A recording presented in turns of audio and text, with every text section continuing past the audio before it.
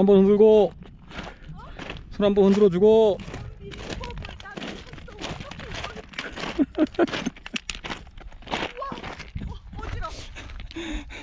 조심해 안 미끄러지게. 미끄러지면 큰일 나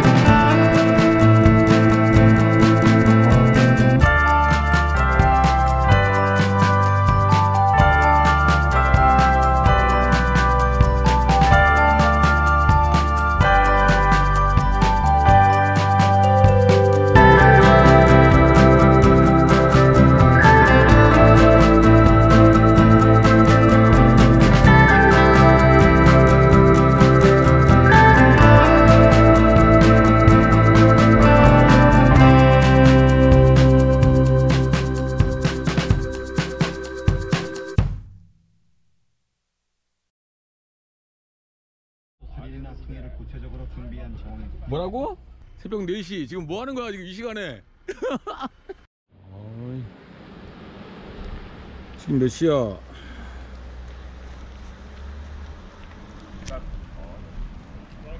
여섯 시 6분 지금은 안, 안, 안, 안 피나 보네? 응? 이건 지금은 안 펴요 형님? 나중에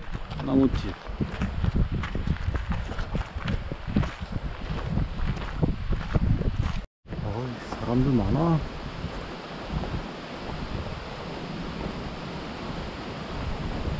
요일 아침 아, 오두막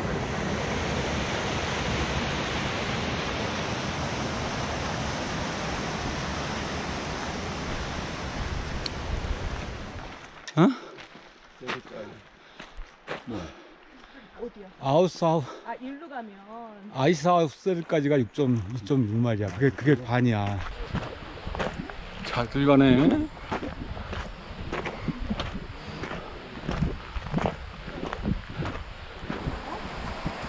먼저 갈래? 아니?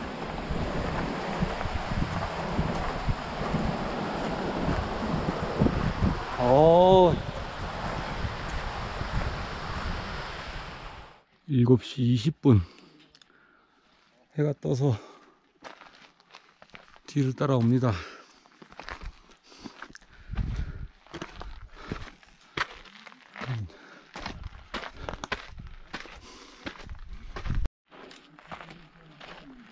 앞에서부터 한 명, 두 명, 세 명, 그리고 네 명.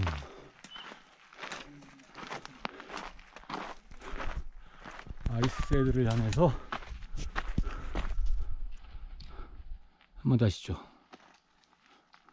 해내고 말 거야. 그런 말 말고. 야, 움직여야 돼, 지금. 목이 있어, 목이. 정면에 보이는 게 마운틴 바이크야.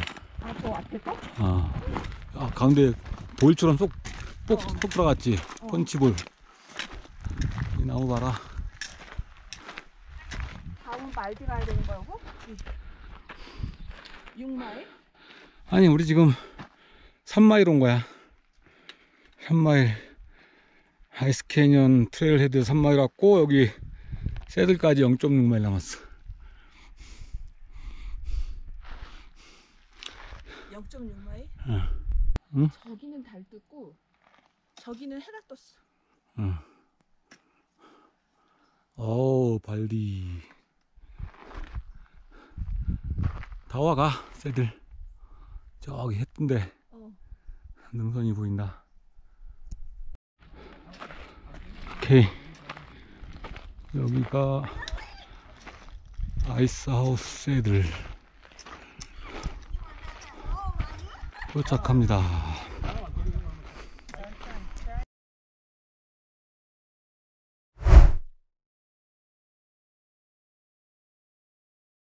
약간 힘드는 데 예, 예. 트레일은 지금 조금 많이 허물어져가 조심하셔야 됩니다. 음.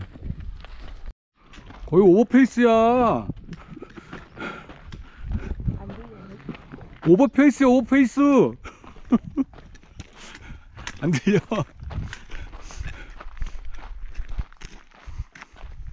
아, 역광인데, 이거? 멋있지? 네, 형님 좋습니다. 여기 멋있어. 여기가 이제, 여기가 무슨 능선이라 그러던데. 봐. 저쪽에 LA 보이잖아, 이제.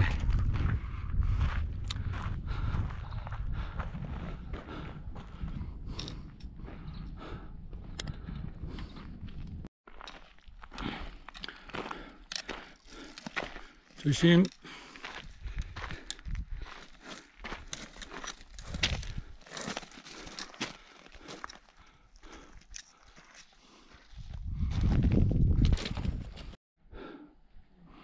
스위치백. 오, 멋있는데? 응? 한마디 하숑? 기분이 너무 좋아.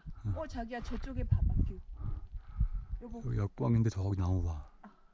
that side. 우리가 왔다는 어디? 어떤 길? 왜?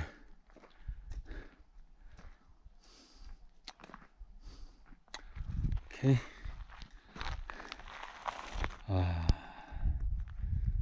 저기서 올라온 거 있어.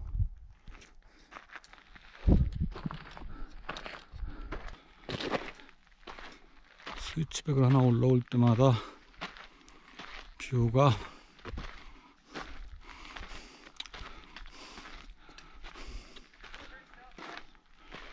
렌츠 쿠가 뭔가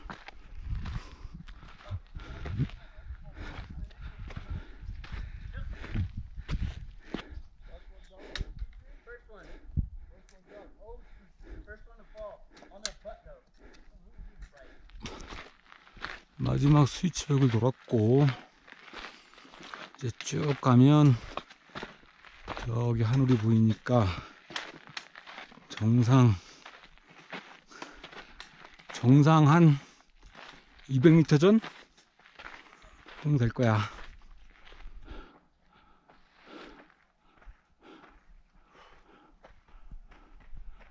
하늘 보이고 여기가 정상.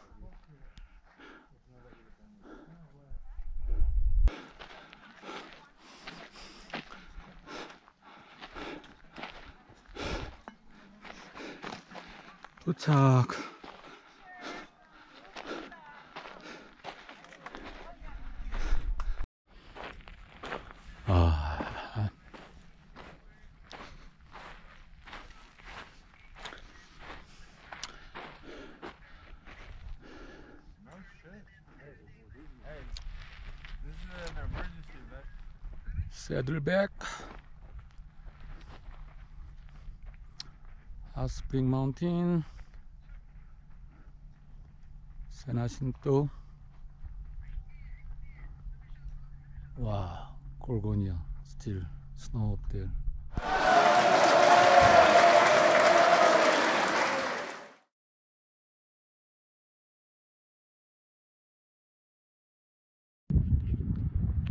와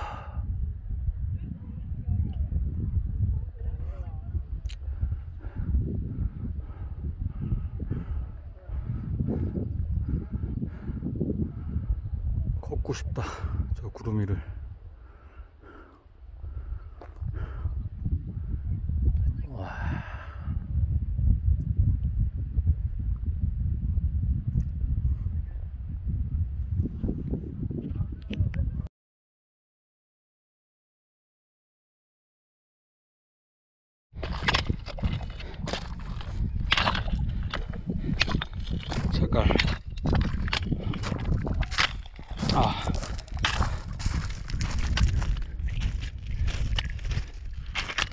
내려가.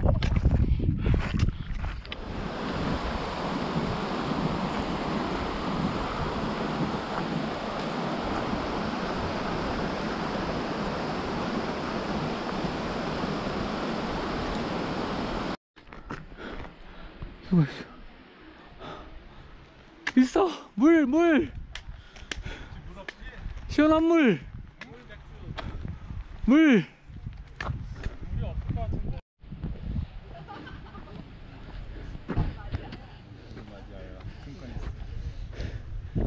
자, 다들 한마디씩. 되겠네 고생했어! 고생했어 고생했어 고생했어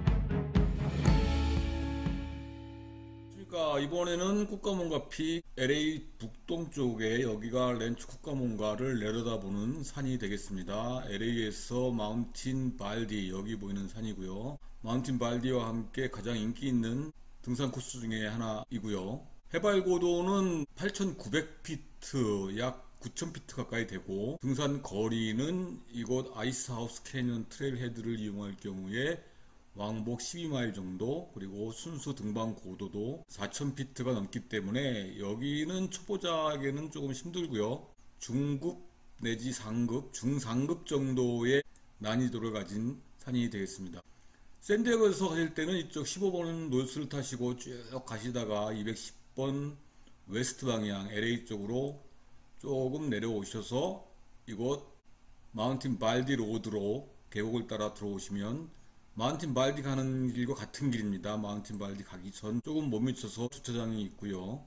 저희는 샌디에고에서 새벽 4시에 출발했는데 6시에 도착을 했는데도 불구하고 토요일 아침 주차장이 꽉 찼고 겨우 마지막 남은 한 자리를 찾아서 등산을 할 수가 있었습니다. 가능하면 이른 시간에 가셔야 이 아래부터 주차를 하고 걸어 올라가는 수고를 덜 수가 있고요. 산은 아름답습니다. 처음에 이곳 아이스 캐년 trailhead를 출발해서 이곳 아이스하우스 saddle까지 약 3.6마일의 길은 이렇게 계곡을 따라서 계곡 밑으로 쭉 진행하는 길이고요.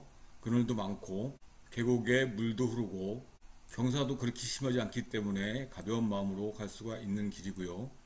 이곳 saddle에 도착하시면 이곳은 사통팔달 이렇게 우리가 갔다 온 것처럼 꽃가mon과 픽을 올라갈 수도 있고요. 이쪽에 있는 비콘을 등산하시는 분도 계시고 또 이쪽으로 3T, 팀버 마운틴, 텔레그라프, 던더 마운틴까지 돌아서 이렇게 마운틴 발디 쪽으로 등산을 하시는 분도 있습니다. 일단 여기가 중간 기착지가 되어 있고요. 거리는 3.6마일 정도. 그 다음에 이 새들에서 쿠카몬과 피까지는 또 2.4마일의 코스가 되겠습니다. 여기 조그만 산이 비콘 마운틴이고요. 비콘 마운틴 옆으로 허리를 타고 돌아서 다시 여기 작은 새들에 도착하게 되는데 여기에 올라가시면 일단 LA 시내를 다 볼 수 있고요. 그 다음에 국가문과 피까지 이 길이 상당한 경사의 길입니다. 하지만 이렇게 스위치백이 잘 돼 있어서 실제로 올라갈 때는 이 엄청난 경사를 느끼지 못하고요. 대신 이 길의 대부분이 자갈길입니다. 그러다 보니까 발을 좀 헛디디면 상당히 위험할 수가 있는 길이고 또 고도가 있다 보니까 그늘이 거의 없다시피 합니다. 여름에는 물을 좀 많이 준비해야 되고 마음의 준비도 해야지 정상을 밟을 수가 있고요.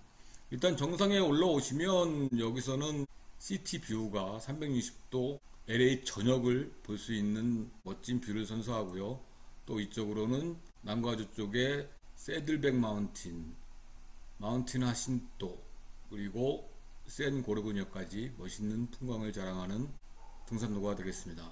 네, LA 지역에서 가까운 쿠카몬가 마운틴 발디와 함께 가장 인기 있는 등산 코스가 되겠고요. 샌디에고에서도 하루 코스로 아침 일찍 출발하시면 2시간 운전하시고 건강하신 분은 한 7시간, 6시간 내에 등산을 마칠 수가 있고 돌아오시면 하루 코스로 갔다 올 수 있는 멋진 산이 되겠습니다. 특히 정상에는 이렇게 마치 하늘에 떠 있는 바위 위에서 촬영을 한 듯한 사진을 찍을 수 있는 포토존이 있고요. 마치 샌디에고에 있는 Potato Chip Rock과 비슷한 포토존이 되겠습니다. 오늘은 샌디에고에서 하루에 갔다 올 수 있는 가까운 거리의 마운틴 쿠카몬가 산을 소개해 드렸습니다. 감사합니다. 아 잠깐 깜빡했습니다. 이 쿠카몬가 peak을 오르려면 퍼밋이 필요합니다. 영상에서 보셨다시피 park ranger가 randomly permit 체크를 하고요. 퍼밋이 없이 등산하다가 적발이 되면 수천불의 벌금을 물을 수도 있다고 합니다. 꼭 permit을 받으시기 바라고요. permit은 온라인으로 가능합니다. 여기에 San Gorgonio Wilderness Association 사이트 sgwa.org slash permit에 들어가시면 이렇게 샌 고르고니오 쿠카몬가 permit을 받을 수 있고요. 필요한 정보를 입력하시면 이렇게 즉석에서 permit을 다운받을 수가 있습니다. 그룹당 하나면 되고요. 12명까지 가능하니까 무료이고 인원 제한도 없는 것으로 보입니다. 쿠카몬가 peak은 미리 이렇게 받으셔서 휴대폰에 저장해 가시거나 프린트해 가셔서 아름다운 등산을 하시다가 적발되어 벌금을 물는 일이 없도록 해주시면 되겠습니다. 일이나 통일을 구체적으로 준비한 정 뭐라고? 새벽 4시 지금 뭐 하는 거야 지금 이 시간에